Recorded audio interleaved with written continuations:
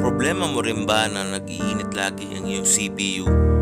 Then after, magbo-blue screen of death? Siyempre, siguro, kailangan ng palitan natin ang ating CPU cooler. At ito, ang ating sagot dyan.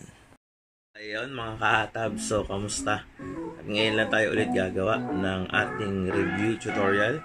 So itong review tutorial natin is all about this and Cooler Master T2.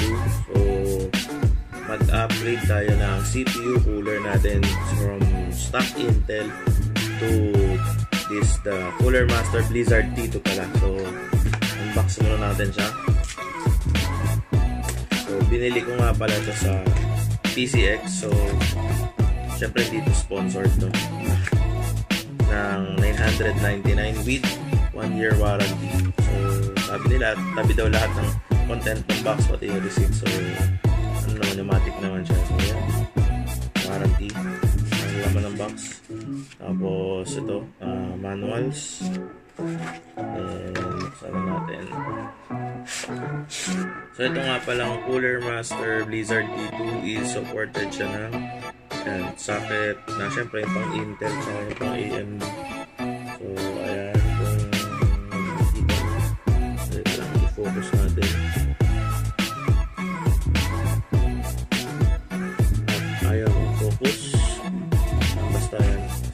Siya.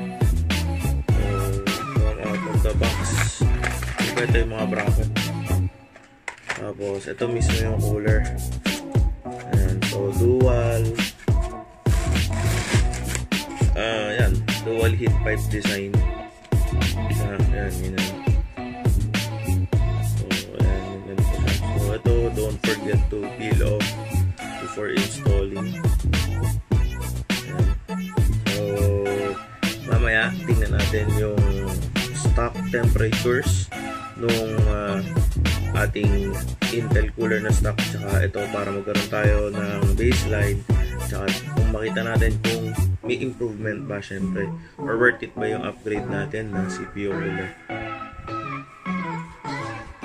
Tapos so syempre naman mga bracket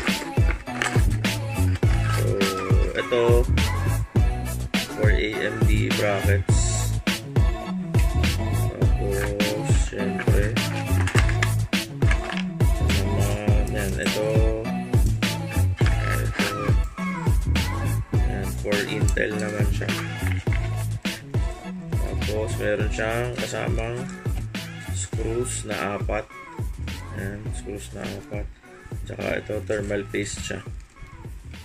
So pang Intel is kailangan mong i-screw yung uh, mga pegs o yung paa niya. Then yung pang AMD naman, clip type lang naman kasi yun. So ito lang lalagay mo. So, Ayan, so gagamitin natin dito is yung CPU ID hardware monitor para ma-check natin yung mga temperature. So, from idle temperature sa stock cooler ng Intel, ayan yung ating uh, figures. So, ang igagamitin natin na pang stress test or load test is ang uh, Cinebench R15 then para makita natin kung ano yung peak temperatures nya then run lang natin yung test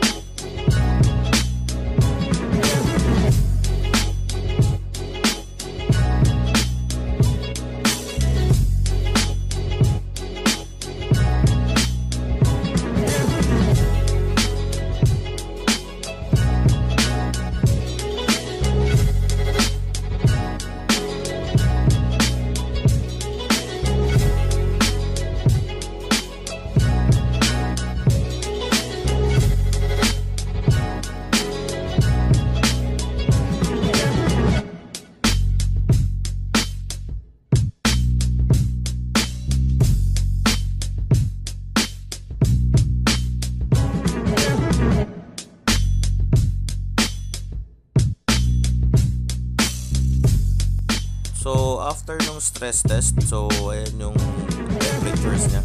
Abot siya hanggang 68 degrees Celsius. So, palitan natin yung cooler ngayon para matest naman natin kung malaki nga ba yung difference ng kanilang temperature.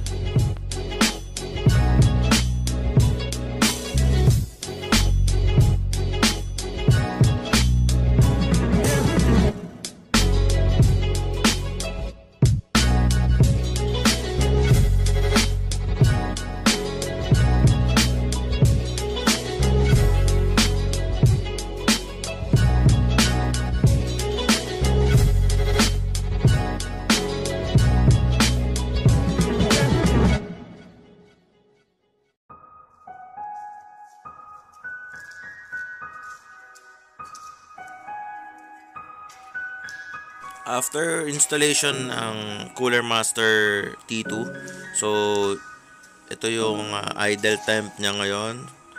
So yan, 38 to 40, then max of 42. So syempre, i-test natin ulit ito using the Cinebench R15 for the stress test para makita natin yung maximum temperature niya under load using the Cooler Master.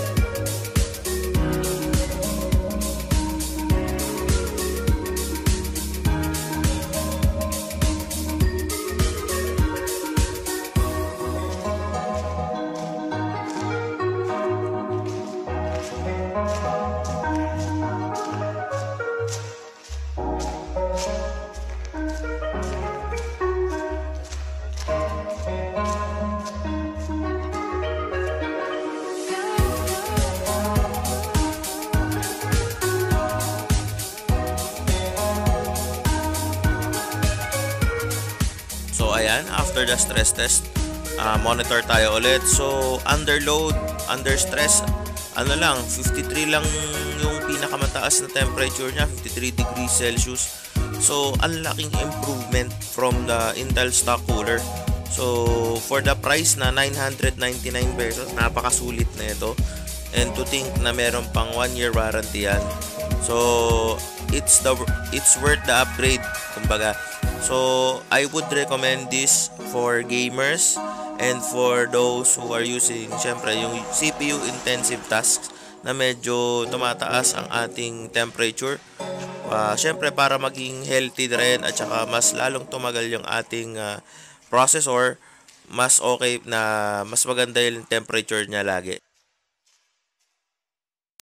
So, ayun no, ang ating review sa Cooler Master T2. So, sulit na sulit, no? So, kayo guys, eh, bili na kayo. Uh, mura lang naman siya, 1,000 pesos or I say 999 pesos lang. Worth upgrade talaga siya. So, hanggang dito na lang guys. So, syempre, like, share, and subscribe for other uh, reviews, tutorials, vlogs, and gaming um, videos. Thank you and as always, keep going and God bless.